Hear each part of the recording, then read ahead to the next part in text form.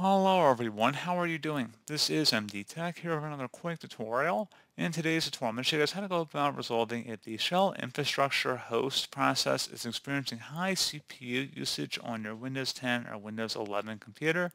So this should hopefully be a pretty straightforward process here guys, and without further ado, let's go ahead and jump right into it. So we're going to start off by opening up the search menu, type in settings, best match, should come back with settings, go ahead and open that up. Now on the left side, you want to select Apps. And then on the right side, underneath Apps, select Installed Apps. And search Apps field, type in Photos. Best match, I'll come back on Microsoft Photos. Go ahead and select the three-dot icon next to it. And select Advanced Options. Scroll down under Reset. If the app isn't working right, we can try to repair it. The app's data won't be affected. Select Repair.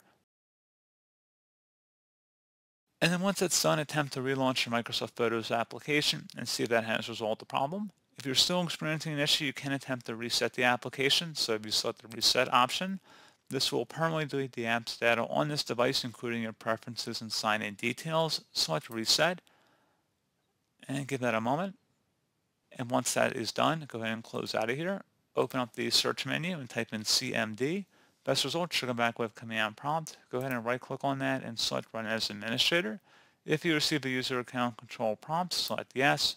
And now into this elevated command line window, you want to type in SFC, followed by a space forward slash scan now. Scan now should all be one word attached to that forward slash out front. Hit enter on your keyboard to begin the system scan. This will take some time to run, so please be patient.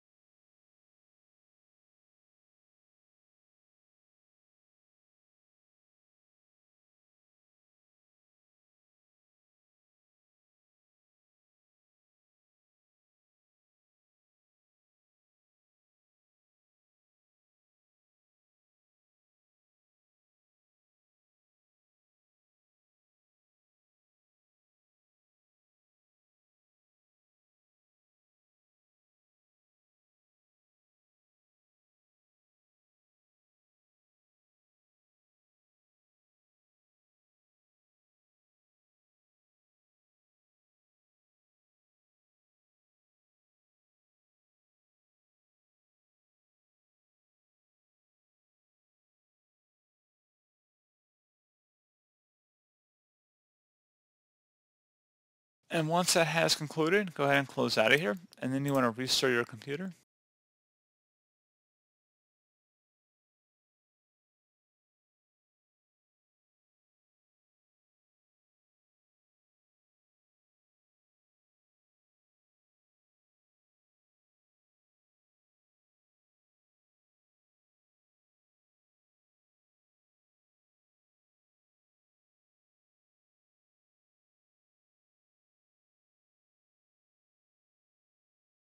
And now hopefully the shell infrastructure host error should be resolved. So this is hopefully a pretty straightforward process for you guys. And as always, thank you for watching. Do a positive to help you out. And I do look forward to catching you all in the next tutorial. Goodbye.